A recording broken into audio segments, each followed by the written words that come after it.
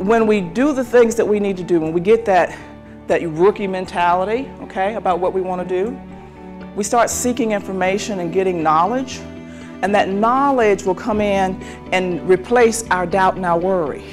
And the example that I'll use when we did the exercise, y'all should have heard that room, and I was talking, so I really couldn't record it. There was so much energy in that room today. It was like I was listening to my partner that I was working with and we were doing Liz's exercise, but I was hearing in the background this buzz. I don't think y'all know what that meant. There was energy in that room, energy.